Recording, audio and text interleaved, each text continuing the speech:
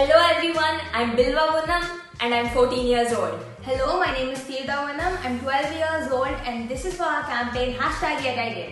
Hashtag Yet I Did is a campaign focused on empowering change and igniting innovation. When we could do it, I am sure that there are many such stories not told.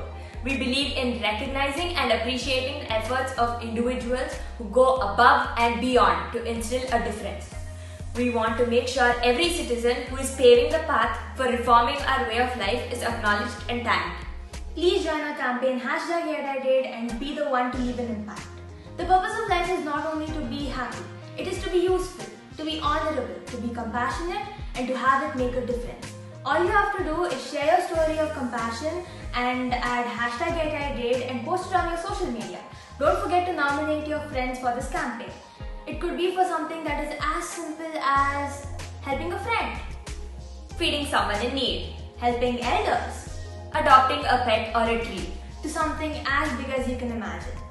Hashtag Yet I Did should be the beginning of a new chapter for society. It is time we pass on these positive energies far and beyond. The best stories can also win prizes, so please join us in this positive campaign.